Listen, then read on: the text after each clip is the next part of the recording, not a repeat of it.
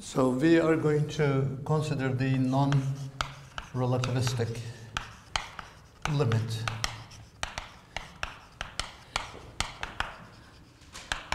Last time we have considered the extreme non-relativistic limit, which was the particle at rest, and we have seen that we could classify the particle solutions at rest to be the common eigenstates of the Hamiltonian, obviously, because we are talking about the energy eigenstates, and also a new operator called the spin sigma, which we have defined. Eventually, we are going to elaborate on it, and we are going to discuss the actual operations related to that later. But anyway, we have seen that there are four solutions. Two of them are positive energy, E, one of them being spin up, spin down. The other two are the negative energy, even at rest. And one of them being spin up, the other spin down. And we'll see that eventually all these four solutions uh, are the part of the completeness. You know, you need four in the relativistic case. Now, we also discussed the classical limit, and which enabled us to get the, the well-known Lorentz force equation. Now we are going to discuss the, the non-relativistic limit associated with the atomic physics, say. Okay, this is the v-axis, and here is the c, the speed of light, the upper limit of all the signals. And that's the zero. Of course, speed, the lowest value for the speed is zero. This is the extreme non-relativistic. This is the extreme relativistic limit. This is photon, this is particle objects at rest. And this region is the atomic physics region. And there we know quite well that the average speed in the atoms of the, of the electrons are alpha times the c. It is really a nice relationship. Eventually you'll see that this will help us to clarify several issues. There are two fundamental constants essentially entering into the game. C is obviously the speed of light, and the relative speed is v over c is a, a degree of relativity, uh, how much the relativity is involved with. And so c is relativity, and this is quantum that at the atomic level, two fundamental constants, one is a measure of quantum at the atomic scale. Two fundamental constants are intermingled, related. One is a measure of the quantumness, the other is a measure of relativityness. That's a bad English, so I made it up. so let's see how then we develop the algorithm of introducing going to this limit, this region, atomic physics region. Well, for that we have started estimating the energies associated with the atomic physics, that what kind of energies we have. One have, we have the rest mass energies of the electron.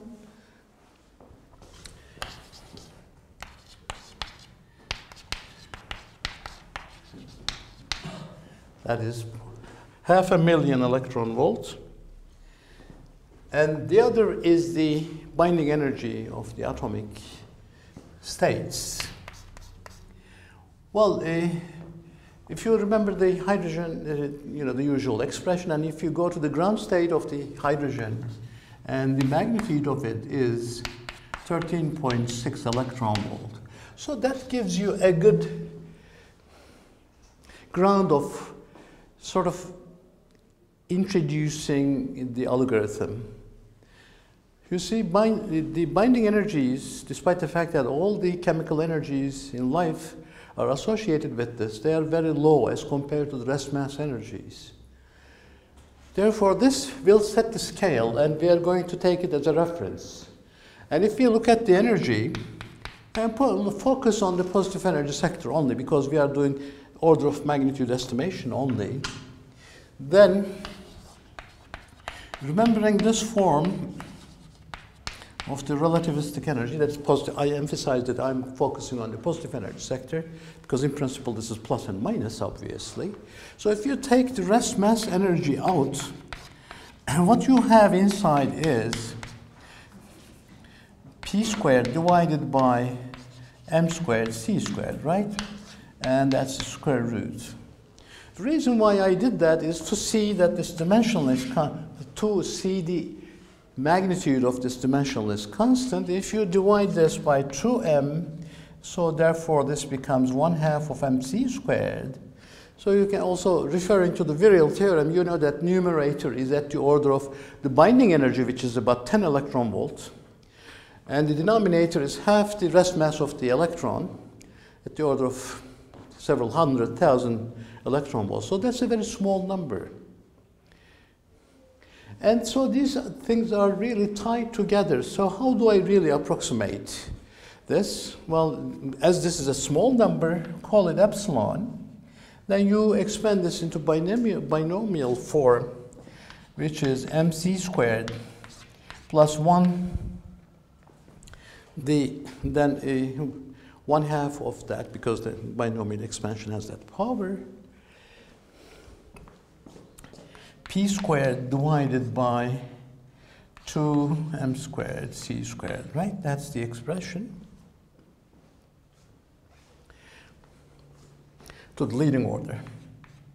And also, you can see that there will be a higher order. Well, what is the coefficient, first of all? 1 half times 1 half minus 1, which is minus a half, minus a quarter, divided by 4 minus 1 over 8 p squared squared divided by m to the 4 c to the 4 plus minus. That is the way this can be expanded. So if you look at now the leading terms the leading term is mc squared plus what about this one? This is p squared divided by 2m obviously. And this one is p squared squared divided by 8 m cube c squared. All have the correct dimensions, right? The dimension of the energy. So the leading term in this free particle relativistic energy is the rest mass energy plus the Newtonian kinetic energy plus the corrections coming from the relativistic region. Obviously, if I say that because of, although this is small, V over C is small enough, alpha, which is about the order of 1%, still a large number, right? Because C is large, 300,000 kilometers per second. Therefore, for that regime, this term is to be taken into account. Anyway, you'll see that all these things will follow from the Dirac's equation. So, but let me set the algorithm then. The large scale of energy is the rest mass energy. So if I'm going to look at the Dirac equation, which is, of course, the entity in question in the equation is this four-dimensional spinor, which is function of space and time. I will redefine it as minus i over h bar mc squared t times two component spinors. So I'm, I'm not really looking at, in principle, when you really see this factor coming out, you may have the wrong impression that I am looking for the stationary state solutions, so this is the typical time dependence, the rest are time independent. It's not the case. What I am doing is, I take this fast oscillating factor out so that in the remaining part, which is a four component spinor, which I have written in the form of two two component spinors, their behavior in time is very smooth. They don't change much in time. That's the idea. change rather slowly in time.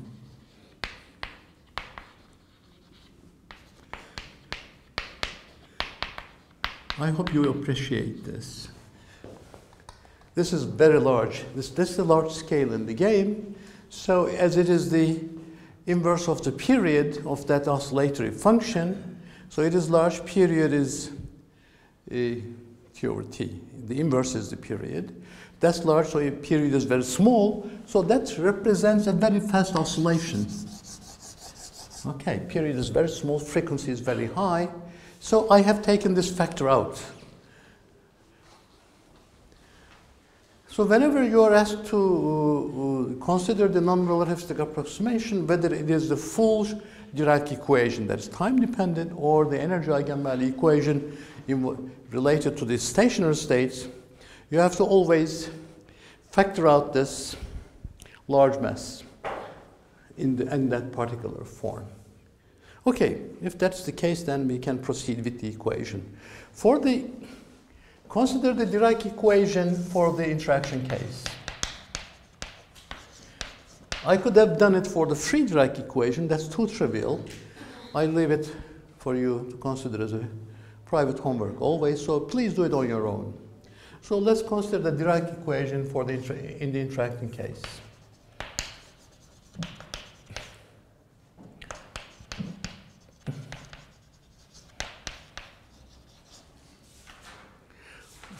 What was the form of the equation?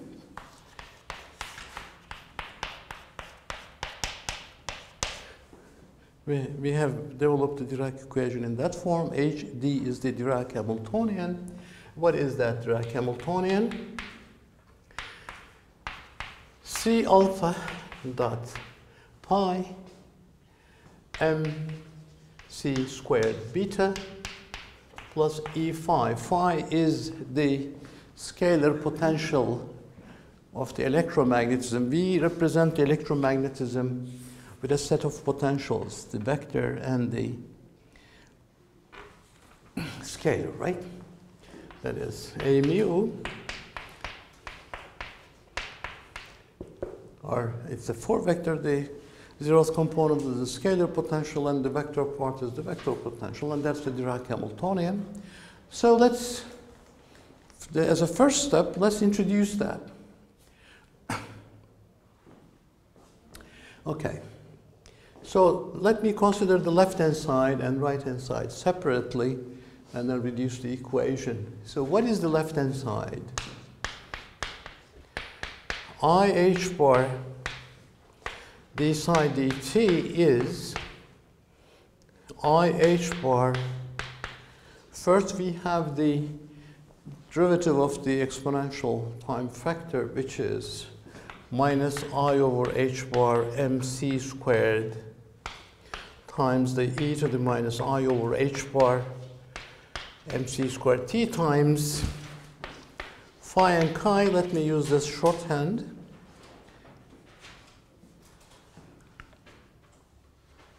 And next, again the same factor, so let me use denote it as simply exponential times d by dt phi and chi. So this is the entire left-hand side.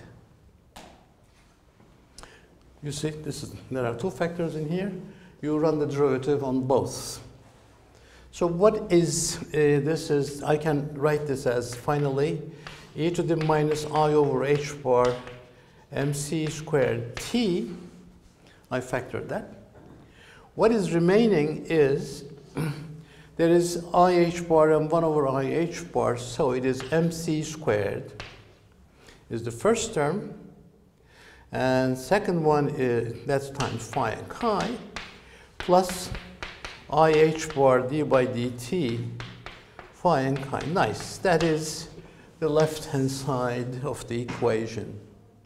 And what about the right-hand side? Right-hand side is obtained by taking this uh, entire Hamiltonian and remembering the matrix representations of the alpha and beta matrices.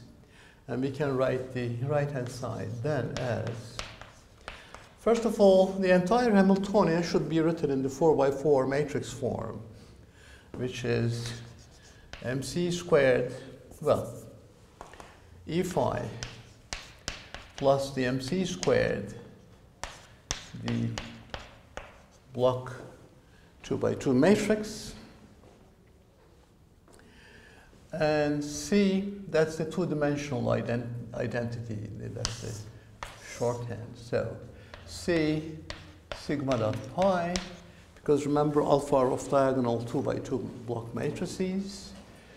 C sigma dot pi, and here E phi minus mc squared, the identity times phi and chi. So that's the right hand side of the equation. So if we equate the left and right hand sides, then what we get, first of all, notice that if I write, uh, for, sorry, we forgot to put in the exponential in here, so let's put it all, all the way out, exponential. That one as there is no time derivative operators or anything, that's already an overall factor. So when you're equating the left and right hand sides, the exponential of the time cancels in both sides. That against that. And this can be moved to the right hand side to affect the diagonal part. The left hand side stays the same, so I have the equation IH bar d by dt phi and chi as defined in there, phi and chi. And the right hand side are, notice that this mc squared is cancelled against that because there's an identity in here, mc squared up in the lower, low, left block and mc squared down in the right block. So this goes away. E phi two-dimensional identity c sigma dot pi, c sigma dot pi, e phi minus twice mc squared, the identity, two-dimensional identity, phi and chi. So equation is really simplified, somewhat. Phi and chi are still full space and time dependent two component spinors. And we have, this is yet exact because we haven't made any approximation. It is only the, that fast oscillating time factor is cancelled out in both sides. And phi and chi are now smooth functions of t. They do not change very fast. You'll see that that property will play a role in comparing different terms in this game. So let me write now the equation. This is 4 by 4 equation as both sides are four dimensional. If I write now the equation for the upper component, it is C sigma dot pi chi plus E phi phi. Please do not confuse the two sets of phi. The potential phi is straight phi my two component upper spinor is the curly phi, okay. So this is the upper component of the equation. And we have a, a similar lower component, d chi dt is c sigma dot pi phi plus e phi minus 2mc squared times chi. Okay, there are two two-component spinor equations. They're coupled, you see, and phi and chi parts are coupled in both. Yet exact. We haven't carried out any approximation yet. Although we have made the necessary preparations, we haven't done any approximation yet. Now we can start approximating. What is the approximation? Let's look at the second. You know, this second component as we have felt explicitly by looking at the rest solutions, the upper components are related to the positive energy, the lower two components are related to negative energy.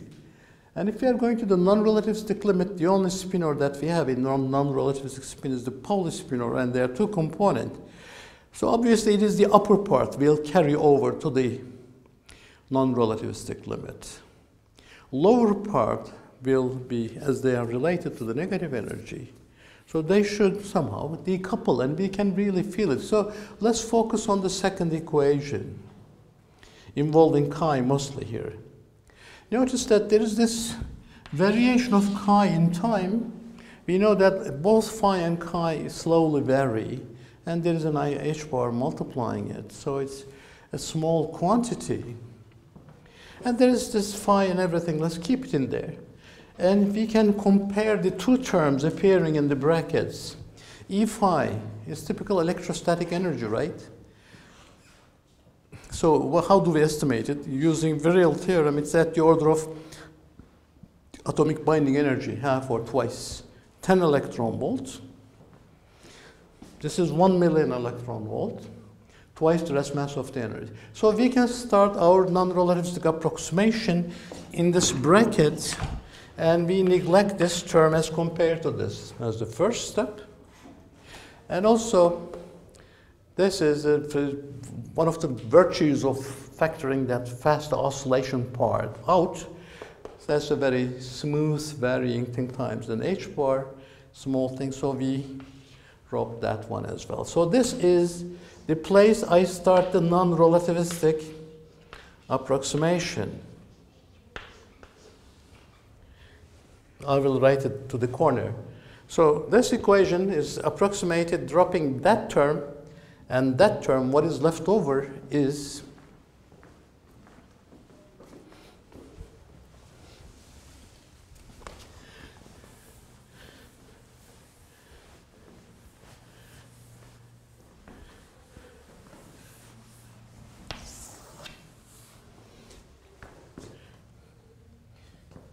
Left hand side is 0, right hand side I have this term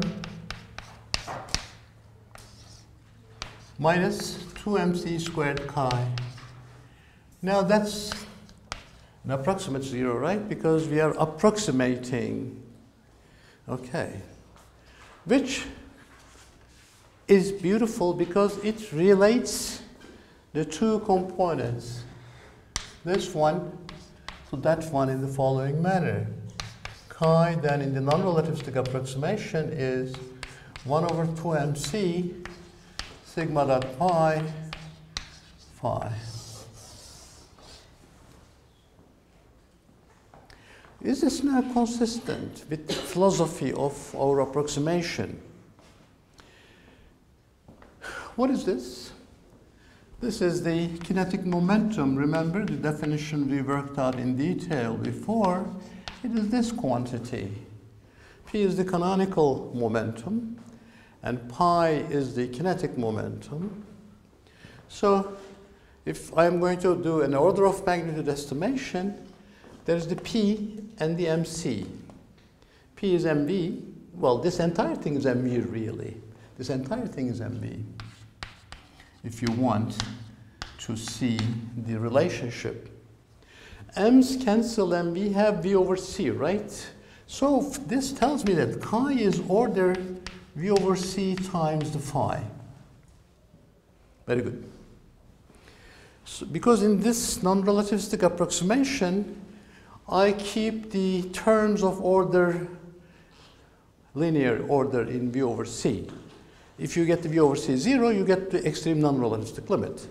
If you would like to get the corrections coming from the relativistic regime, you have to retain terms of linear order in V over C. That's what we are doing. And so chi is indeed V over C in in that uh, at the order V over C. If you let V over C goes to zero, it goes to zero, decouples. So at very non-relativistic limits, when V over C is very small, smaller than 1%. It's for the ordinary speeds that you can imagine. What is the fastest? 1,000 kilometers per hour, the aeroplanes, right? So what about the speed of light? If you multiply the 300,000 by 3,600, you get that's the amount of kilometer that you get. How much is it? 300,000 times 1,000 is 3 million, so 1 billion kilometer per hour. So obviously, for ordinary speeds, it doesn't have to be at rest. V over C is practically zero, so you don't have any correction. But only for these reasonably non-relativistic values like alpha times c, you need that correction. Otherwise, it decouples altogether, and there is no trace of the, the lower component, which is negative energy part, in the non-relativistic quantum mechanics. So this is nice to have this O order V over C, that this is as compared to that. Or chi over phi is that, if you want. Very good. Let's proceed. If this is the main result that we obtained by doing this approximation, what we can do now is the second equation is done. We go to the first equation and substitute that expression up in there. So what was the first equation? Left-hand side was IH bar d phi dt.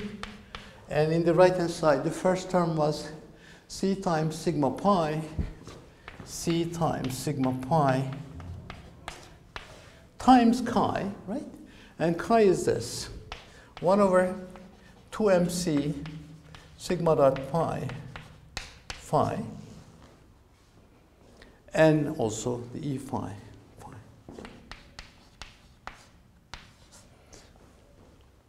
Indeed, a nice equation involving only the two component spinor phi, and so it's going to be the natural uh, entity in the non-relativistic limit because we know that in non-relativistic regime the spinors are two component Pauli spinors. Well, the C cancels, and I can write this as 1 over 2m sigma dot sigma dot pi squared plus e phi phi. So phi is the two-component spinor. The left-hand side has the usual form. Right-hand side, uh, right-hand side also has the usual form, Hamiltonian times phi. So we are in the right track. Let's work out the details of this new Hamiltonian, and let's see what we get. We'll see some certain victories of the Dirac equation already making themselves manifest at that stage. So, let me compute this sigma dot pi squared. How do we do that? Sigma i, sigma j, repeated indices are summed over pi i, pi j.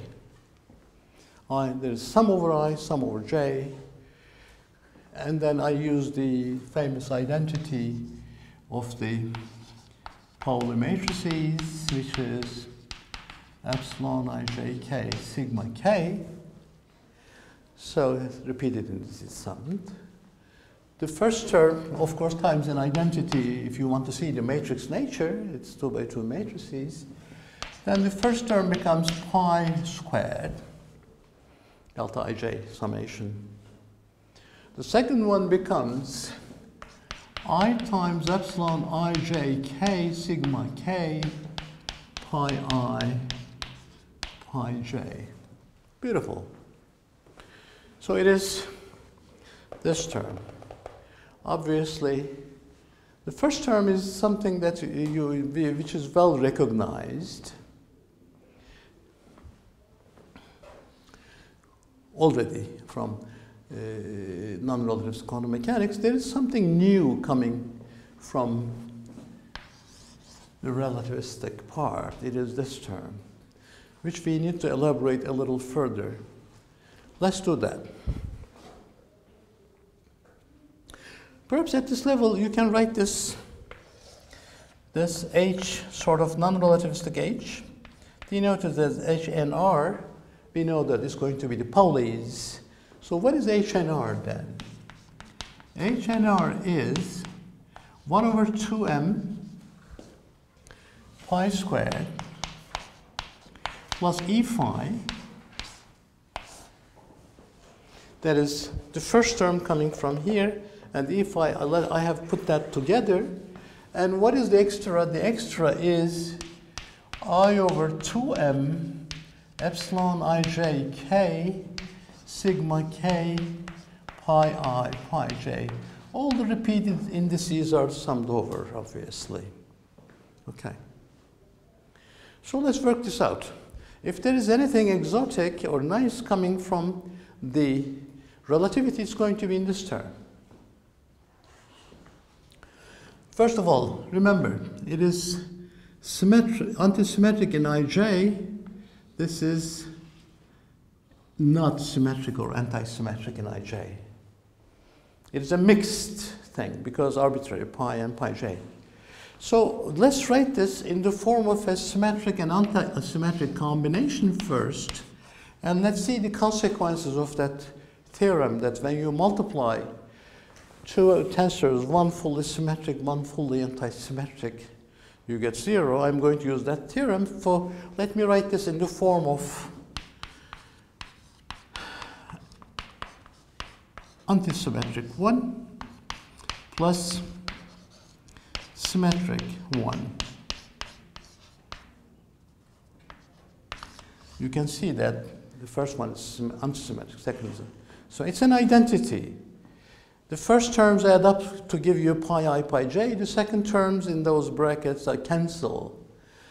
So this is antisymmetric and that's antisymmetric. So it's going to lead to something non-zero. But that is antisymmetric and this one is symmetric in ij. If you interchange i and j, it doesn't change, therefore the second term vanishes.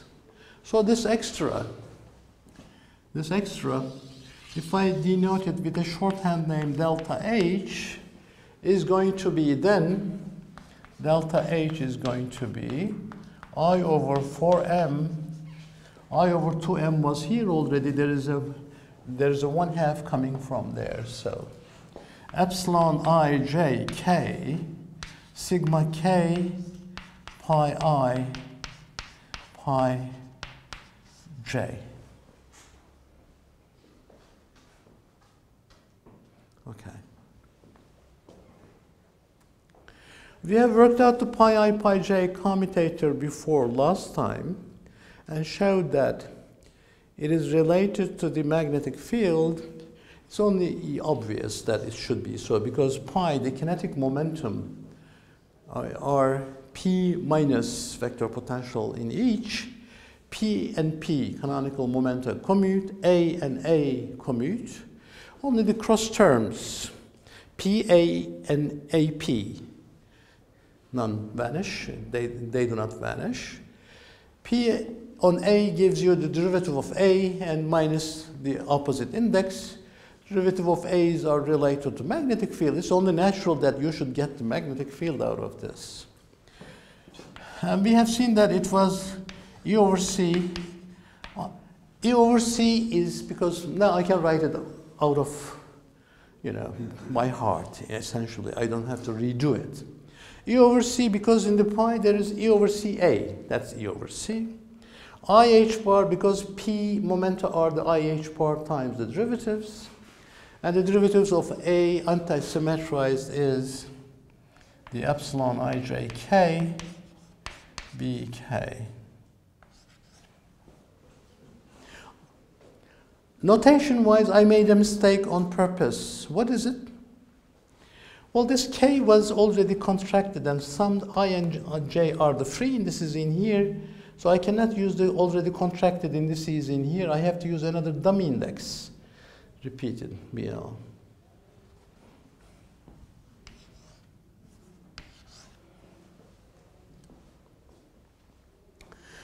Okay, let me contract. There is epsilon ijk, epsilon ijl, that gives you twice delta jl, the contraction of two indices, the usual rule.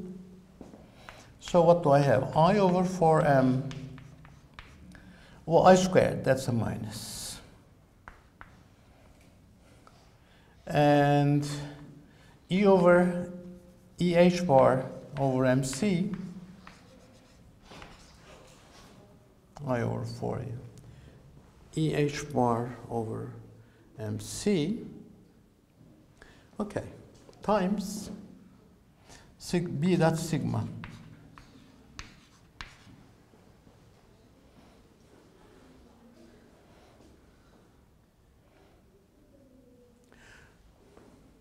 No, it's one half because I, I had out of contraction of epsilons I have two so that kills, let me write it cleanly, minus a half. Okay. So this is the delta H, the additional piece in the non-relativistic Hamiltonian. Okay. Fine. So let me write the non-relativistic Hamiltonian together, all together.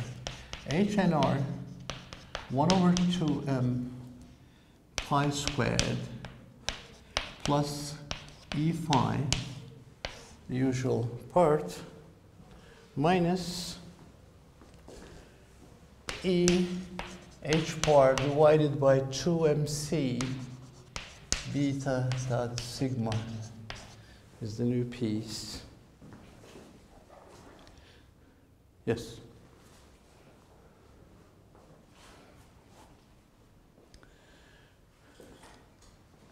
Now, let me go back to the spin in, now this is in two dimensions, and phi are two-dimensional uh, spinors. So we know the two-dimensional physics quite well. And how this spin is related to the Pauli matrices in two dimensions, h bar over 2 sigma are the spin in the two dimensions, in the non-relativistic limit. Therefore, I can rewrite the sigma using the s, that is 2s divided by h bar. h bars cancel, so I have the usual piece. Let me not rewrite the entire thing. Minus E over MC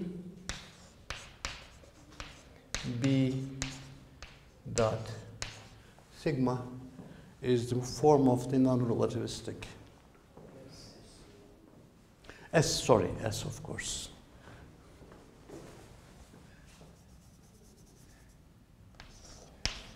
Okay. Well, some of you already recognize that the Zeeman term is making its appearance. If there was no electromagnetic interaction, of course, this reduces to what? Let me immediately say, if A mu is zero, that's free object, this entire thing reduces to 1 over 2m p squared, that is zero, and that zero is p 1 over 2m p squared. That's really the free particle Hamiltonian in the non-relativistic limit, and when there is no interaction. Even that's true not only for the spinless objects, for the spinful objects, when the, there is no interaction, of course, you cannot probe the spin. It behaves like an ordinary spinless object. Yeah. Electromagnetic, you can probe the electromagnetism either with a charge or with a magnetic moment right? These are the probes of electromagnetism. If you have no electromagnetism, the charge or spin doesn't matter, so you get the ordinary free particle kinetic operator. But anyway, as I said, that's a trivial case. Let me work out still in the intra let me continue the discussion in the interaction case. Let me focus now on the usual part, the pi squared. So what is pi squared? Pi squared is, we worked this out very repeatedly in the past, it is p minus e over c a squared. So it's p squared minus e over c a dot p plus p dot a plus e squared over c squared a squared. Okay. Well, in order to see something concrete coming out, let me do the following. Let me consider an external magnetic field, B, pure magnetic field, constant and homogeneous. Constant and homogeneous. Homogeneous means space constant. Constant means constant. No time dependence or no space dependence. Think of a large uh, electromagnet and the, between the poles you can uh, construct a magnetic field of this sort. And you can uh, construct the A associated with this in the Coulomb gauge. Obviously, when you are constructing potentials from the electromagnetic fields, which are the things that you actually create in the laboratory, you need to fix the gauge. If I use the Coulomb gauge, then I have phi equals zero and divergence of A should satisfy equal to zero. So how do I construct this? I construct this in the following manner. A is equal to 1 half B cross R. You can verify, the easiest way is to verify that the divergence of this is equal to 0, and the curl of this gives you the B. Check.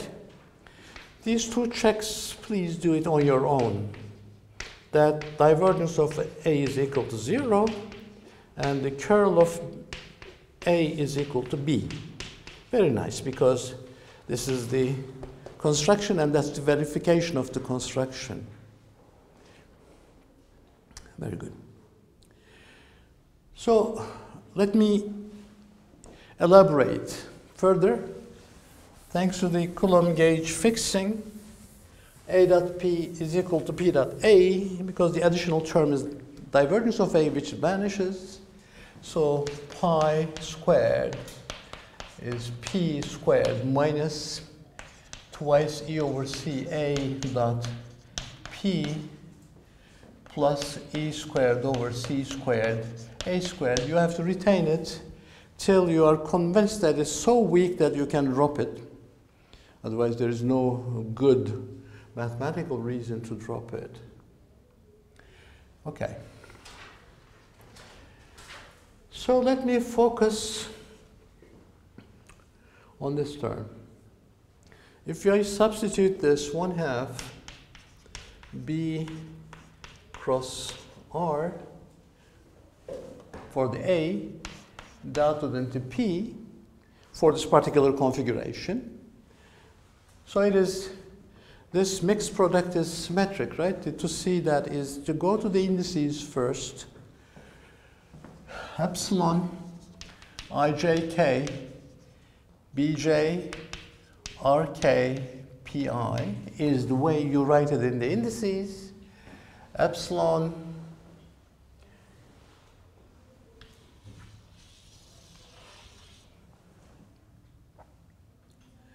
J, no, KI, JK. So it is what? It is the LJ. So this becomes P squared minus, there's the 2 and 2 which cancels E over C B dot L plus E squared over C squared A squared. How nice. So this pi squared, kinetic momentum squared is the canonical momentum squared times this nice B dot L term. And there's a quadratic A squared term, of course. If you are interested in working out the Landau levels, then you have to retain that term. So let me write now the full Hamiltonian, the entire thing. H, non-relativistic, is equal to 1 over 2m, no, p squared over 2m, that's the term, minus e over 2mc b dot L term minus E over C mc b dot S term plus this E squared over 2mc squared A squared term is the A squared. If, if the A is too weak, then that could be dropped. But the most important parts are, of course, there is the kinetic term, p squared over 2 term, 2m term, plus that term. I will write in that corner because that's an important expression, which was sort of one of the things which helped the acceptance of the Dirac equation as the correct relativistic quantum mechanical equation. So then it becomes non-relativistic Hamiltonian is p squared over 2m minus combine these two terms minus e over 2mc b dot l plus 2s plus e squared over 2mc squared a squared.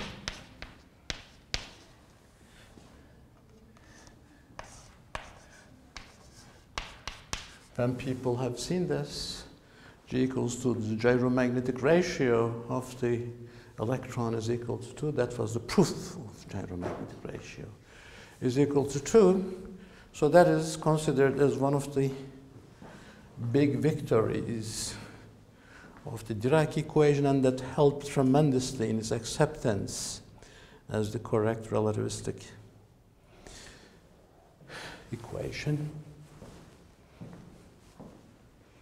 So that's it. For we had the general reduction and for this very specific final form, a constant homogeneous magnetic field, then we, ha we have obtained the usual form, verifying that G equals 2. The next I will consider another interesting problem. It is the non-relativistic limit of the Dirac equation in the presence of a central potential, which is obviously uh, related to the hydrogen atom, right?